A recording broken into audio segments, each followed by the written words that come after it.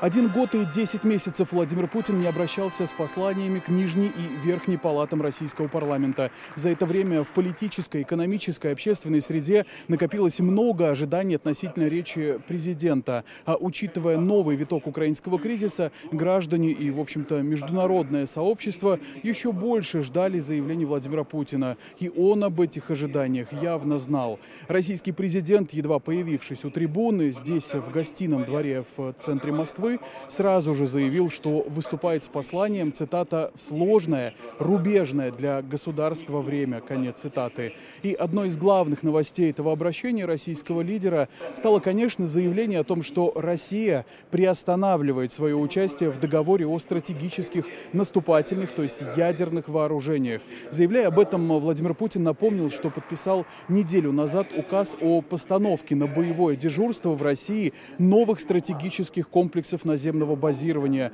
и о том, что в начале февраля НАТО потребовало от России допустить западных военных для инспекции новых и прежних ядерных комплексов России.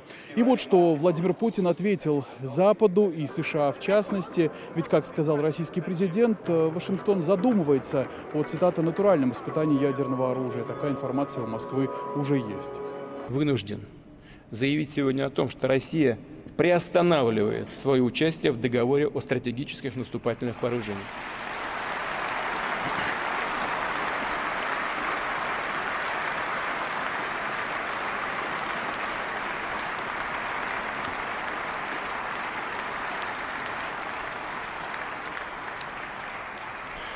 Повторю,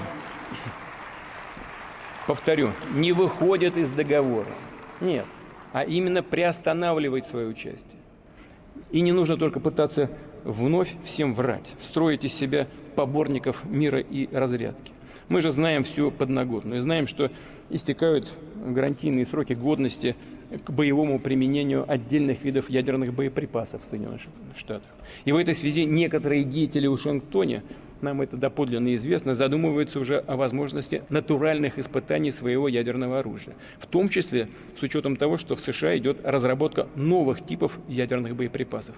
Такая информация есть. В этой ситуации Министерство обороны России и Росатом должны обеспечить готовность к испытанию российского ядерного оружия. Первыми мы, разумеется, этого делать не будем. Но если США проведут испытания, то и мы проведем.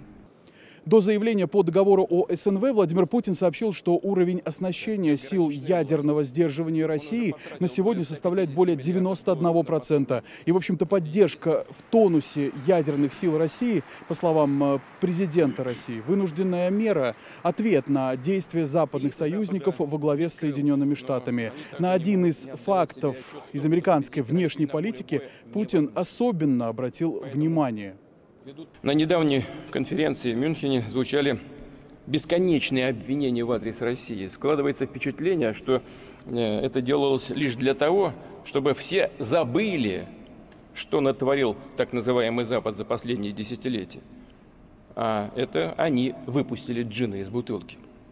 Целые регионы погрузили в хаос. По оценкам самих американских экспертов, в результате войн хочу обратить на это внимание, не мы придумали эти цифры, американцы сами дают.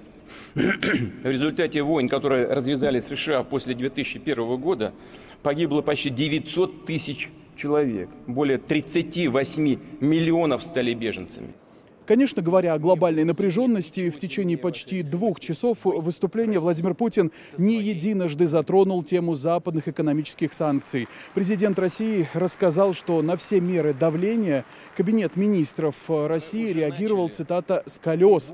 И экономика России, в общем-то, выдерживает удар. Много предыдущих лет в России говорили о важности структурных изменений экономической системы. А теперь в условиях украинского кризиса это по-настоящему жизненно жизненная необходимость для страны. Пушки вместо масла. Такой ситуации в России не будет, сказал Путин. В стране, по его словам, достаточно ресурсов и для обеспечения обороны страны, и для развития экономики. И занимать в долг Россия, к слову, тоже не собирается, сказал Владимир Путин. Нам предрекали, помните, спад экономики 20-25%, 10%. Совсем недавно мы говорили 2,9, я говорил чуть позднее 2,5. Валовый внутренний продукт э, в 2022 году снизился на 2,1%. Это самые свежие данные. При этом напомню, что еще в феврале-марте прошлого года, как я уже сказал, предрекали нам просто обвал экономики. Российский бизнес перестроил логистику, укрепил связи с ответственными, предсказуемыми партнерами. А таких много. В мире таких большинство. Отмечу, что доля российского рубля в наших международных расчетах по сравнению с декабрем 2021 года удвоилась и составила одну треть. А вместе с валютами дружественных стран это уже больше половины – если говорить в целом о социально-экономической и общественной стабильности внутри России на текущий момент, то ожидаемо много Владимир Путин сказал о поддержке семей военнослужащих, о развитии системы образования, о необходимости соблюдения прав человека и избирательных прав. Как подчеркнул Путин, президентские выборы 2024 года, а российский ЦИК уже начал подготовку к ним, несмотря на все вызовы для России, должны состояться в строгом соответствии с законом. Но это 24 год год.